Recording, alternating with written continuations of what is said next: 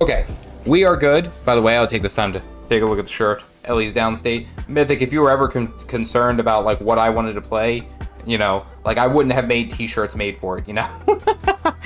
Ah, there we go. Anyway, we are back. We're back doing our things. We're working on getting some, uh, we'll say, fantastic stuff here. Uh, doing legendaries and stuff. All that stuff and things.